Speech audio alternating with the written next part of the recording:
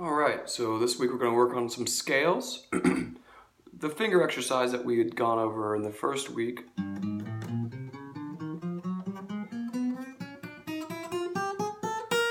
will give you the finger strength kind of preparation that you'll need for these types of things. So if you ever saw the movie The Sound of Music, uh, they have that one part, do, re, mi, fa, sol, la, ti, do. Uh, that's the major scale. And we're going to try that in the G. Uh, G sounds like that. Like this. Different ways to play it. So we're going to try to play that scale uh, for the major scale. So G, A, B, C, D, E, F sharp, C, B, A, G.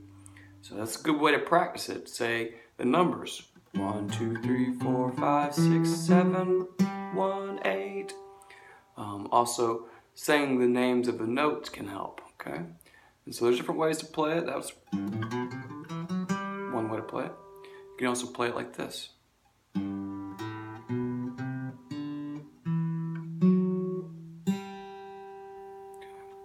Got a printout for you that will help describe which notes you're going to be looking for. So I want you to remember to say the notes, practice that. Um, also say, try singing it. Do, re, mi, fa, sol, la, ti, do. Or try counting it with it. One, two, three, four, five, six, seven, one. So that's three different approaches to the same scale.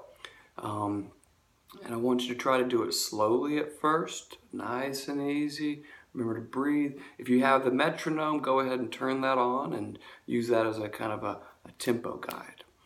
And um, that'll be it. Uh, the E5 chord that we're going to work on. Seventh fret, second string. Ninth fret, D and G strings. So it's like this.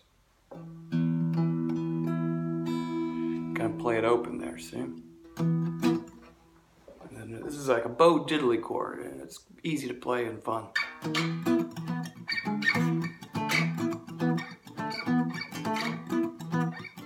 I'm sliding that from a D5 to an E5. And you can tell it's a D because the root note, the first note you're playing, that's a D.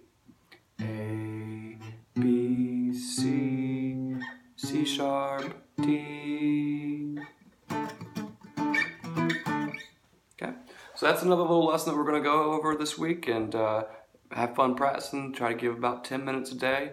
Just nice and easy stuff. Don't forget to go over the old things, include the new things, and uh, we're going to just keep moving, all right, and keep learning uh, new fun stuff. Have a good week.